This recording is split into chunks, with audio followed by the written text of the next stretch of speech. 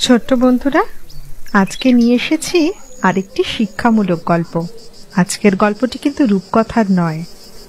এই গল্পের শেষে একটি নীতি শিক্ষামূলক উপদেশ থাকবে। এসো, শুনে নেই। গল্পের নাম, বোকার সাজা। চৈত্র মাস খুব গরম। রোদের তাপে শুকিয়ে গেছে মাঠের সব ঘাস। শুকিয়ে গেছে অনেক পুকুরের জল।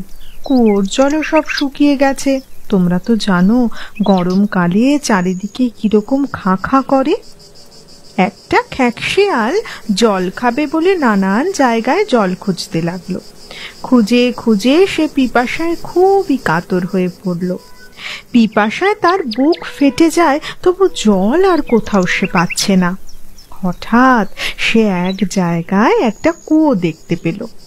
খ্যাকশিয়াল সে কুয়োর কাছে দৌড়ে গেল।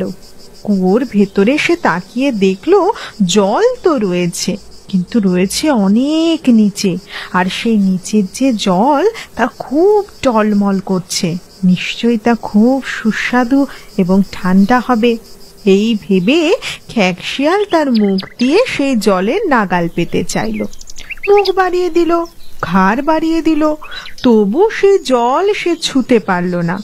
তাহলেও জল খাওয়ার আশা তো আর ছাড়া যায় না। জল যে তার খেতেই হবে, সে খুবই তৃষ্ণার্ত। তারপর সে কুয়োর কিনারায় বারবার ঘোরাফেরা করতে লাগল। এইভাবে ঘোরাফেরা করতে করতে কি হবে বুঝতে না পেরে আবার সে যখন জলের দিকে তাকাতে গেছে, অমনি হঠাৎ করে হুড়মুড়িয়ে সে কুয়োর ভেতরে পড়ে গেল। তখন সে কুয়োর ভেতরে গিয়ে আনন্দের সঙ্গে অনেক জল খেলো পেট ভরে। জল তো খেলো পেট ভরে। এখন কুয়ো থেকে উঠে আসবে কি করে? সেই হলো তার বিপদ। অনেক কসরত করেও সে উপরে উঠতে পারল না। শেষে সে উপরে উঠে আসবার একেবারেই আশা ছেড়ে দিল। ঠিক সেই সময় সেখানে এলো একটা ভেড়া। তার ছিল বড় বড় দুটো শিং। তারও খুব পিপাসা পেয়েছে। গরমকাল চারিদিকে সব জল শুকিয়ে গেছে। সেও এসে কুয়োর কাছে জল খাবে বলে দাঁড়িয়েছে। অমনি সেই ভেড়াকে দেখেই খ্যাকশিয়াল বলে উঠল, ওহে ওহে মেষ, তোমার কি এখন জল চাই? তাহলে লাভ দিয়ে পড়ো। এই দেখো, আমি কেমন জল খাচ্ছি ভেতরে এসে। জল তো ভীষণ ঠান্ডা, আর কি সুস্বাদু মিষ্টি তোমাকে কি বলব।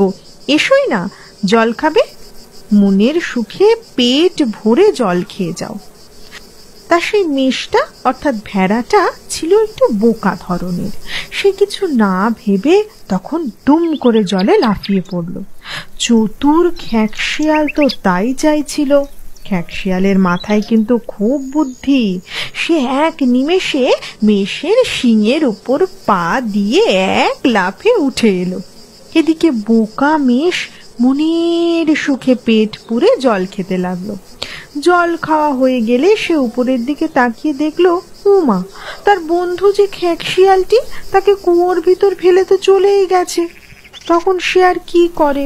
নিজেই ভাবতে লাগল, কি করে ওপরে উঠে আসা যায়। সেও অনেক কসরত করল, কিন্তু তার সেই ভাবার আর কোনোই ফল হলো না। সে সেখানেই পড়ে রইল, আর কদিন পর সে সেখানেই মারা গেল। এর থেকে আমরা কি শিখলাম বন্ধুরা?